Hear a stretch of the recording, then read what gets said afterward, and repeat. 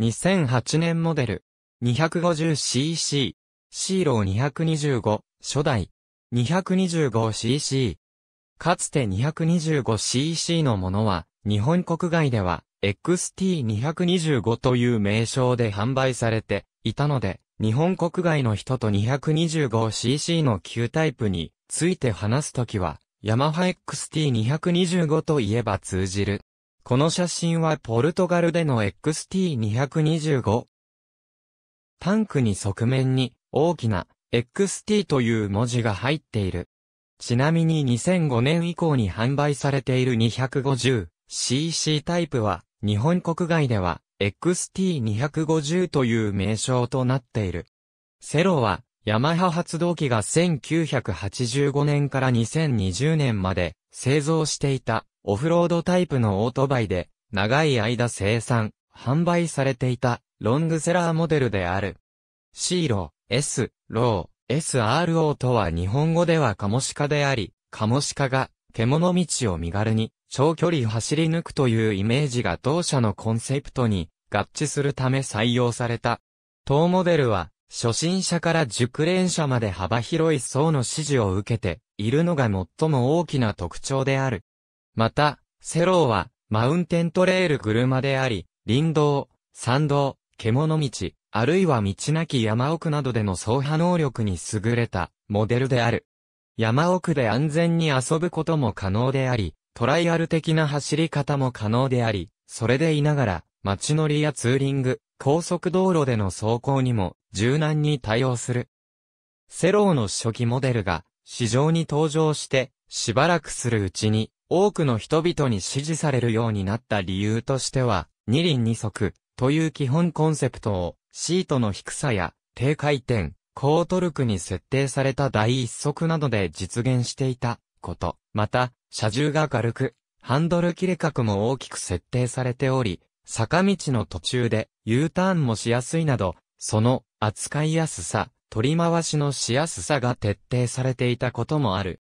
また、車体、外装に着目してみると、ユーザーが林道や山道などのダートや休憩車にあえて大胆に挑戦して転倒する場合もあることを前提として設計や素材の選定が行われており、転んでもダメージが非常に少なく、走行し続けることができる、と評価されていることも特徴である。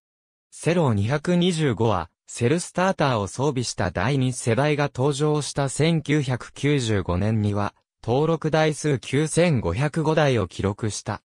その後も、各社から次々と発表、販売され入れ替わってゆく、様々なオートバイ車種に対して、セローは長年にわたり、比較的上位の販売台数を保持し続け、細部の熟成も重ねつつ、息の長いモデルとなった。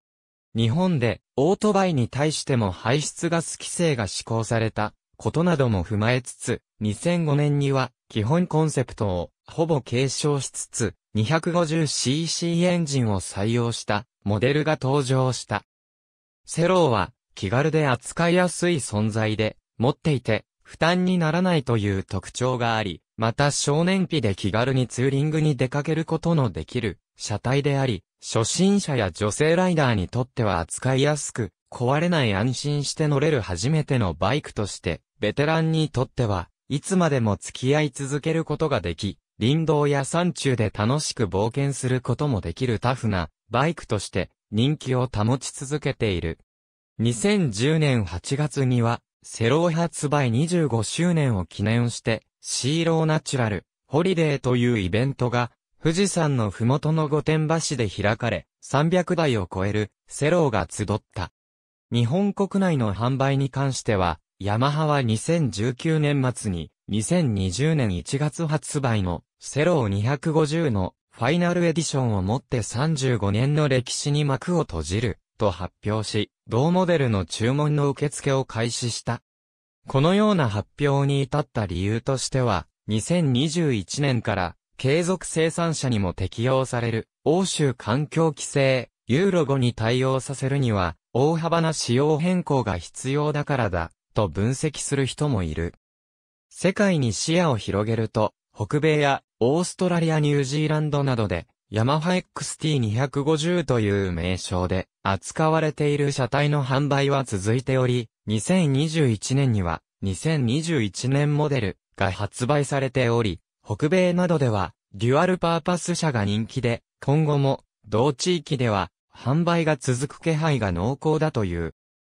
セローが登場した1980年代中期には、人々の間でカタログ上での表面的、観念的な数値ばかりで判断するという、スペック市場主義のようなものが横行しており、突出した一部の数値ばかりに気を奪われ、実際に乗って、現実の道を走行した時の本当の乗りやすさや楽しさというものがあまり理解されていなかったが、セローのコンセプトというのは、当時のそうしたスペック市場主義の悪しき風潮を乗り越えたものである。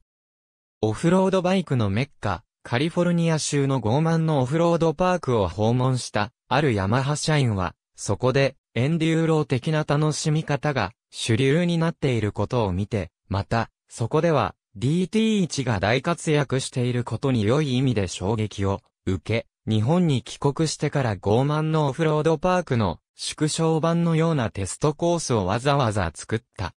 そんな頃に、ヤマハ XT200 に乗る機会を得て、それが DT1 の延長上にあり、多用途性のベストバランスバイクのイメージだということに気づき、同モデルを成熟させることで、新世代の DT1 を生み出す、ということに思い至った。そして、XT200 の次期モデルが立ち上がるタイミングを狙い、社内で提案を行い、彼が思い描く理想のモデルのプロトタイプを手作りで制作した。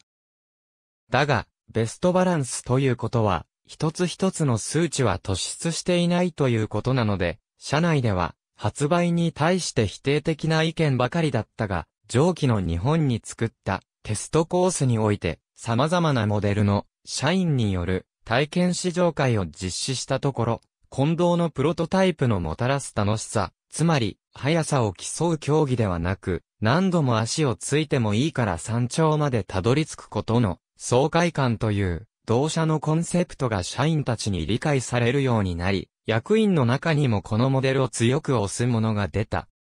かくして、XT200 の良さを残しつつ、弱点を補強し、オリジナリティを持たせる手法でセローは開発された。具体的には、走る曲がる止まるという通常の3原則の他に、転ぶという原則を加えた点が新しく、いろいろな場面でわざと転ぶテストを徹底していったので、ある。かくして、セローの特徴、すなわち、XT200 よりも 25mm 低い、シート高や、左右それぞれ51度のハンドルの切れ角、転んだ時のための引き起こし用のグリップなどが生まれた。エンジンの排気量は、XT200 の 200cc から増強されたが、ベストバランスを実現するために、あえて法的な境界線である 250cc には、せず、225cc とした。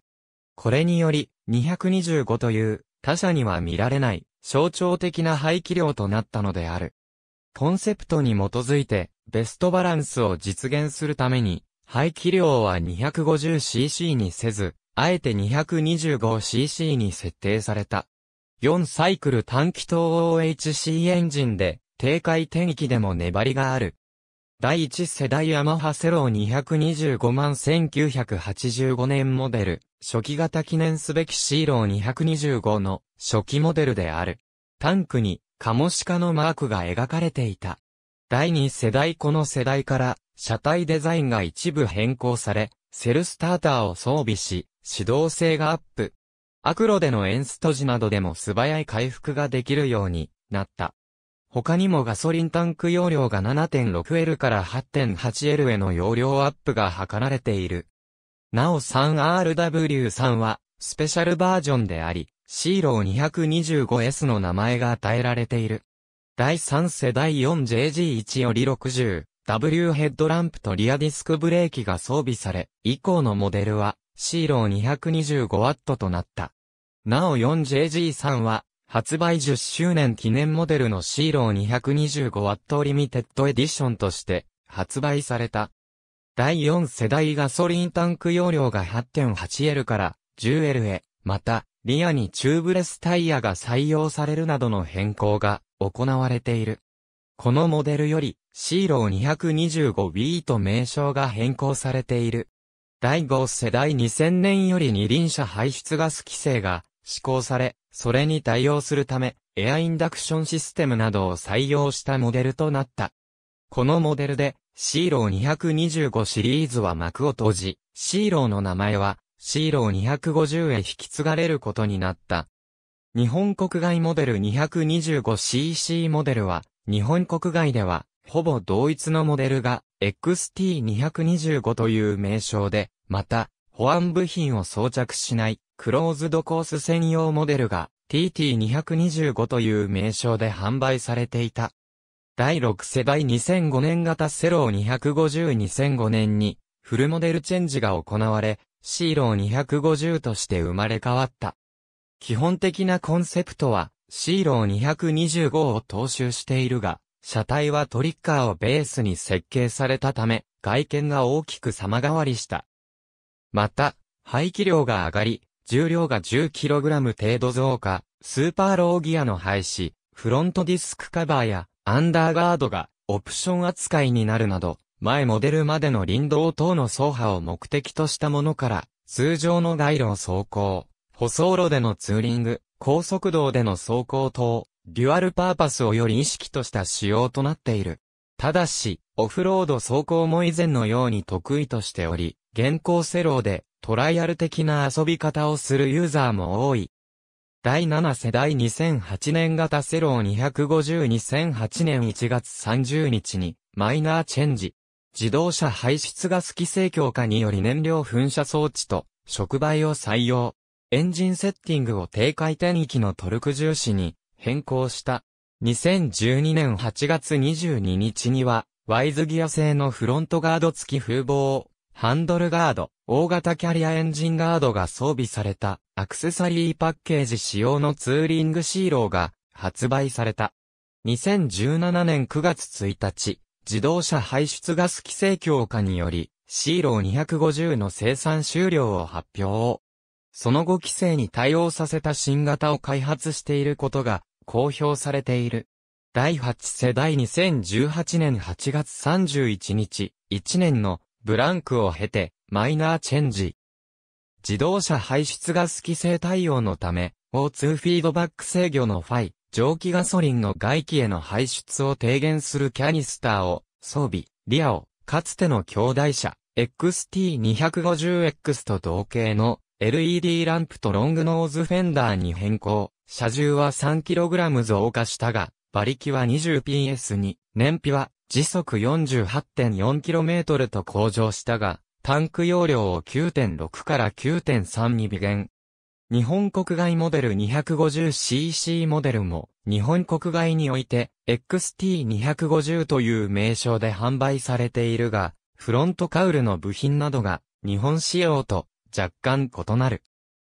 東京消防庁消防活動二輪部隊、高圧放水重装備シーロー250-2011年8月27日、NHK 防災パーク2011警視庁、第1方面交通機動隊 XT250、P1998 年モデルでは、ヒマラヤカモシカをモチーフとした絵柄がタンクにプリントされたとヤマハのサイトには記述されている。